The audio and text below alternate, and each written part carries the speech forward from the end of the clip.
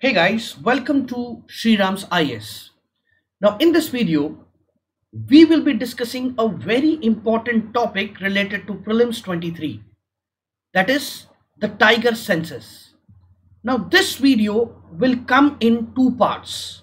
Now after watching both the parts, you will get all the necessary information which is related to tiger whether it is tiger conservation the new statistics that came out and what all international initiatives launched in order to conserve tiger. So i welcome you all to Sriram's IAS for all of your information we are announcing the new upcoming batches at Sriram IAS so there is a new foundation course that is starting from 13th of April. Okay. Now this foundation course will target your CSE 24, the Civil Services Examination of 24, where all the subjects will be done in a very detailed and comprehensive manner. Then guys, we are also introducing a crash course for prelims 23 so all those aspirants who are looking for a short and crisp course for the upcoming prelims you can join us where we will be giving a crash course on current affairs general studies as well as csat so here are the details then we are also introducing optional for the following subjects and the batch the batches are starting from 15th of April. Now guys, Sriram IAS, Sriram's IAS has a track record of 35 years of long journey dedicated enough to produce thousands and numbers of aspirants over the, the this long journey.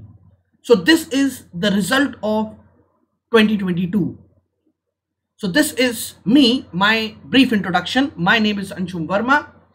And if you want to join Sriram IAS, you can use code Srirams and you can get a straight 25% off on all the courses.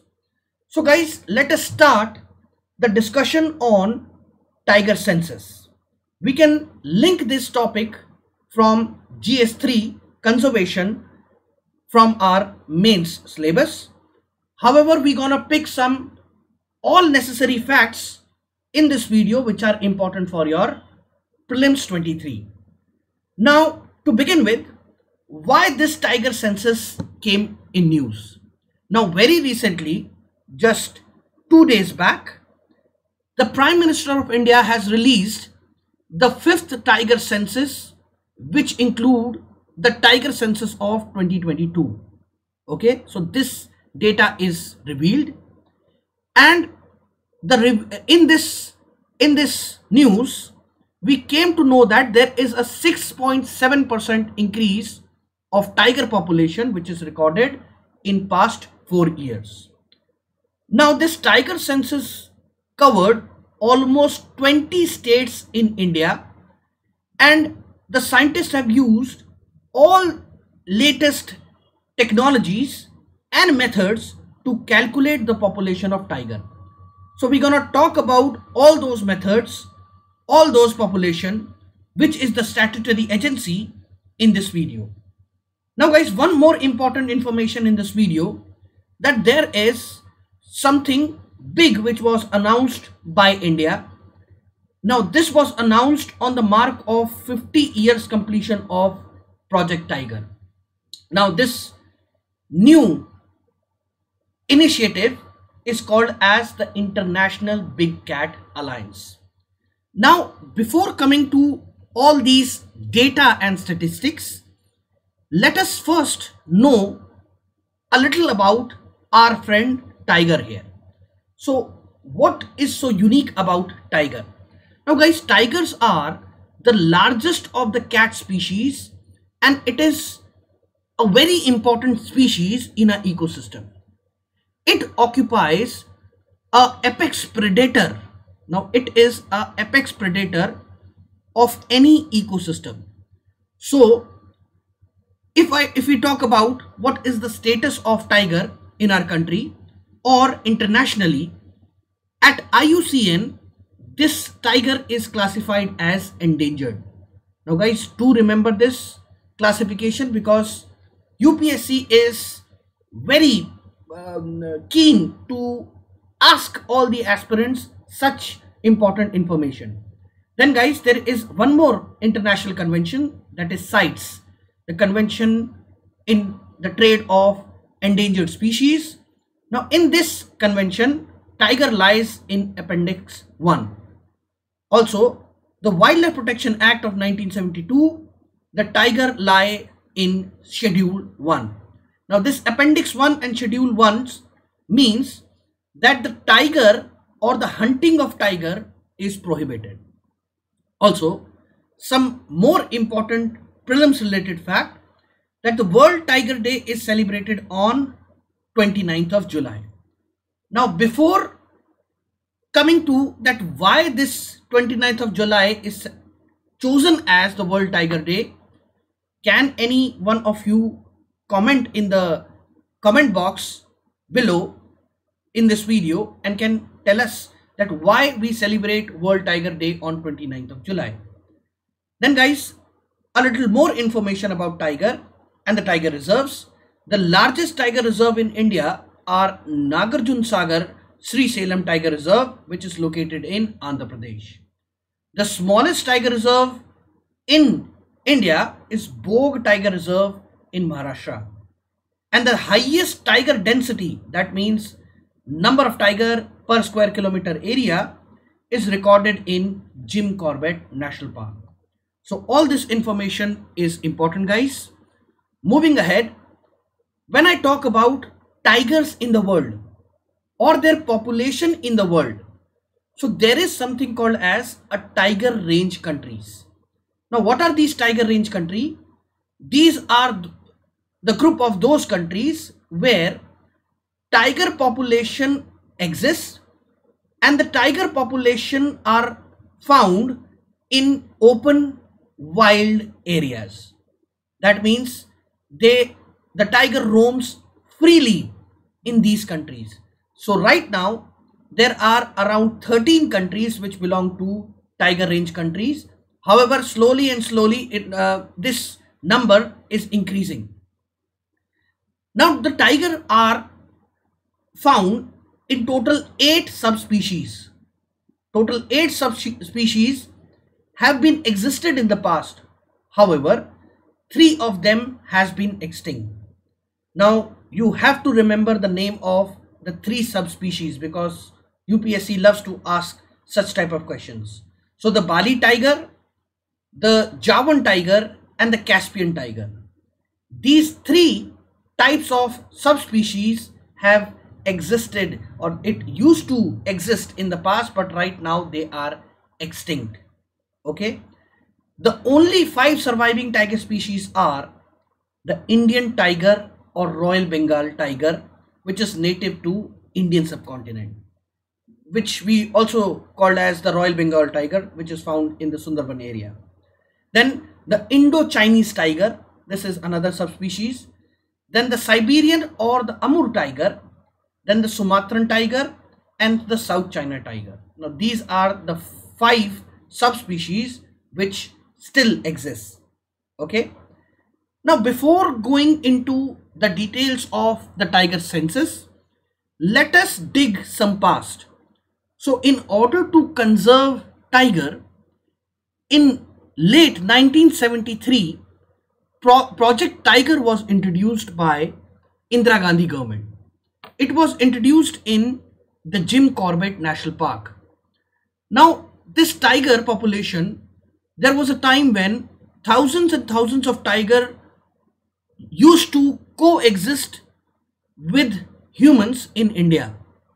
It was recorded that somewhere around 20,000 to 40,000 tigers existed in India during the time of the British colonization. Okay, but with time this tiger was the population started decline. Why? Because of a of a very uh, we can say a, a amusing um, habit of Maharajas and then carried it by the Britishers that is the hunting the the the game of hunt that they used to play. So hunting was the major reason why the population of tiger declined very rapidly. Then guys there were other regions as well. Other regions include the biggest region poaching. Now guys if you are aware of uh, a little uh, uh, poaching about poaching now tiger or I say that every part of tiger's body is used or is smuggled internationally. Now there is a use of each and every part of tiger's body which in some places are used for the medicinal purposes.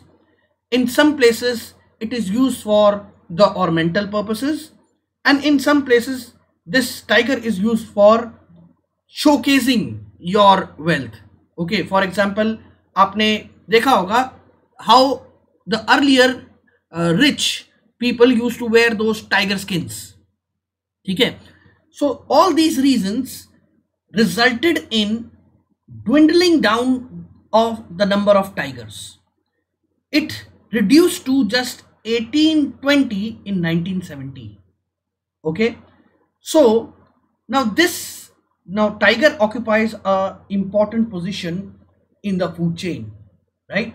It occupies a very important position in food chain as it is a apex predator.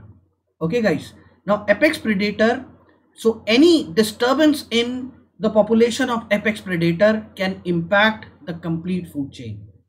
So a group of conservationists and the researchers they applied a continuous pressure on the Indian government during 1970s.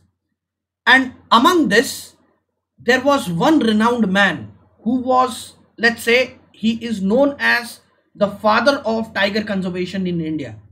He is none other than Dr. Kailash Sankhala. Now, you can see the, he is Mr. Dr. San, uh, Kailash Sankhala. He personally appealed Prime Minister Indira Gandhi many times and who proved to be sympathetic, sympathetic and understanding the needs of India's natural heritage. Now, as a result of this, as well as some international conferences, the pressure coming from the international conventions and the global world, India constituted Wildlife Protection Act in 1972. And just after launching or passing this act, then the Project Tiger was launched in 1973. Now, even the government of India recognized the role of Dr. Kailash Sankhala and he was named as the first director to the Project Tiger in India. So this was a little background of Project Tiger. So as we have just discussed, this Project Tiger was launched in 1973. Launched from where? Jim Corbett National Park in Uttarakhand. By the way, this was the first national park declared in our country. Now this Project Tiger was a centrally sponsored scheme. That means the all the funding will come from the central government itself. And this scheme was monitored back then by Ministry of Environment, which is now commonly known as the Ministry of Environment, Forest and Climate Change. Now initially when this Project Tiger was launched, it was launched in nine tiger reserves in different states of India. What was the objective of this Project Tiger? Obviously, survival and maintenance of tiger population which constituted the tiger reserves throughout the India. So all the tiger reserves they wanted their survival and maintenance and they worked on the growth the growth in their population so it provides a central assistance to the tiger range uh, states which in itself will give you uh, will give a in situ conservation to the tiger. Now, what do you mean by in situ con conservation, guys? In situ conservation means on-site conservation where the tiger is found in its natural habitat. So the conservation in its natural habitat. Now, what who was the implement, implementing agency of the project tiger now there was a need to follow or there was a need to uh, constitute a separate agency in order to do the conservation of the tigers. So as a result the wildlife protection act was amended in 2006 and there was a body a statutory body was created called as national tiger conservation authority. Now it is a statutory body which was formed after amending your wildlife protection act in 2006 now again the funding of project tiger further it will get assistance from 60% from the states and the overall 50% expenditure on all will be provided uh, by the center. Okay? So the center will provide financial assistance to the state that is 60 percent 40 percent states will contribute and other than that the remaining 50 percent of the expenditure will also be borne by the state which is like non-recurring items okay and for the northeastern and the himalayan state the the center will contribute 90 percent of the funds. Now this is a simple classification of a centrally sponsored scheme. So all centrally sponsored schemes are generally um, uh, uh, bifurcated. The revenue uh, divisions are like this only. Okay. So right now there are 18 states which are covered under Project Tiger. Then guys, further, what are the achievements of this Project Tiger?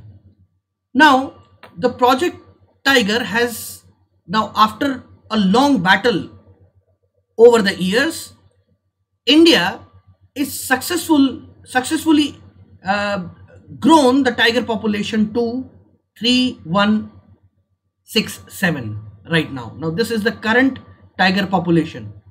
And india hosts more than 75% of the global wild tiger population. That means uh, if we if we count the overall wild tiger population which is openly roaming India accounts for 75% of those tigers.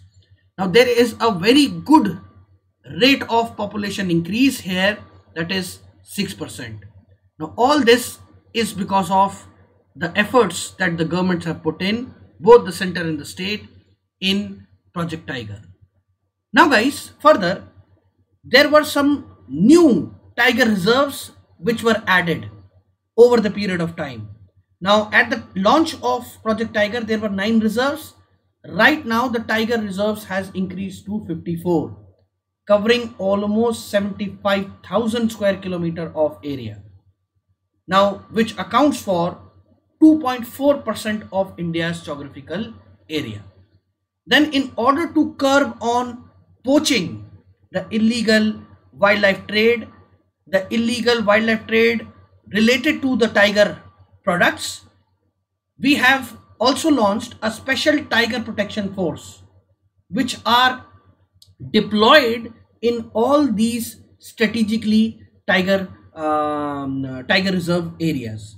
Now this force is well trained and equipped with modern technology to carry out patrolling in throughout the year as in it covers the monsoon patrolling it covers the patrolling during the breeding season and it also covers the patrolling through your regular part of the year now it also this project tiger also worked on the awareness among the local people so as we know that urbanization is expanding the urban centers are expanding and we are witnessing man-animal conflict. We have seen the animals are getting into the urban areas. So over the period of time, we have also carried on awareness campaign, especially among the local uh, people who resides near the periphery of these tiger reserves. So this was also part of the project tiger. Then some scientific research and monitoring has also helped in order to have a better understanding of the tiger behavior, the tiger ecology, and the population dynamics. So the research and monitoring has also helped in the increase of tiger population over the years.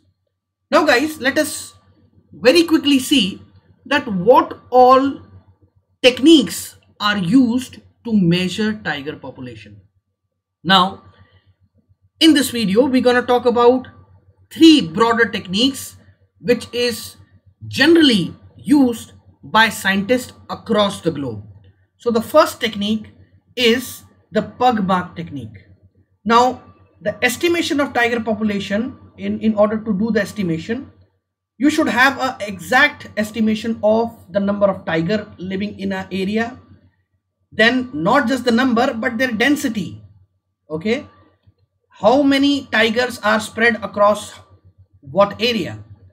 And then some change in their indices. That means the change in the number over the period of time for example the measure of tiger occupancy in a given area. So it is carried out at a regular interval. Uh, so the first technique that is used to collect the data is the pugmark technique. Now pugmark technique is basically the impression of the tiger foot. Okay? Those are called as the pugmark as you can see in these images. Now what is so unique about pugmark? That each tiger has a unique pugmark okay? Now if you can study that pugmark after researching on that uh, a pugmark in the area you can come to a conclusion on the number of tigers in that area. So for example you can see even the pugmark of a male and a female tiger different uh, they are different. And the pugmark of two different male tigers will also differ so this is a indicator which will help the scientists to know the relative abundance of tiger population in that area. Moving ahead, there is some modern techniques which are available like some advanced motion sensor based cameras. Okay. Now these motion sensor based cameras are installed at some strategic location in the uh, in the open forest. Okay. This is uh, they are installed in the um, uh, open locations in the forest so as soon as they record a, a, um, a motion so they capture the, the the the photos and then there is one more method known as the dna fingerprinting method okay there is one more method known as the dna fingerprinting method now in this technique uh, you can collect um, scats. Now what is scats basically the tiger shit. Now, on analyzing the tiger shit slash scats, you can also get to know what are the type of or uh, type of tiger. And uh, you can have a better monitoring on tigers that what is right now in what condition the tigers of that area are then guys a very very unique um, initi initiative which was launched by NTCA, National Tiger Conservation Authority. By the way, in the next part of this video, I will tell you or we will discuss what is NTCA and what is its rules, how it performs the tiger um, uh, protection and conservation in India. Then we will also see some international initiative and then we will come to what all findings have come out in this recent session. Now M-Stripes is a monitoring system for tiger with intensive protection and ecological status. Now what is this M-Stripes? Basically this M-Stripe is the study of the stripes on the tiger. So just like your fingerprints, each tiger has a different kind of stripes on their skin. So after analyzing these stripes and then plotting it on the geographic information system, you can count the number of tigers in that place. Okay, so these are the methods used by the tigers. Before ending this session, I would like to discuss one very important international conference which is to decide or which you can say initiated the tiger, tiger convention globally. The aim of this convention which is also called as the st petersburg declaration it was adopted in november 2010 now initially it was adopted by the 13 tiger range countries what are these 13 tiger range country as i have told you in the starting of this video the tiger range countries are those countries where the tigers are found in the wild. That means they can roam freely. So this St. Petersburg Declaration decided a resolution to implement a mechanism called as Global Tiger Recovery Program. Now this Global Tiger Recovery Program seeks to grow tiger population to double in the period in the next 10 years. The, tar the target was in the next 10 years and they they uh, the target year in this project was 2022 now all those 13 tiger range countries are Bangladesh, Bhutan, Cambodia, China, India, Indonesia, Laos, Malaysia, Myanmar, Nepal, Russia, Thailand and Vietnam. By the way, in the next video we will see that when did India achieve this target? So this is all for this video. I am very soon coming up with the part 2 of this discussion where I will be talking about what all findings and what is the new initiative launched by India. So I request all my viewers to please like this video and you can hit the bell icon to subscribe the channel so that you can uh, get the update of all the upcoming videos and also do not forget to share. Thank you.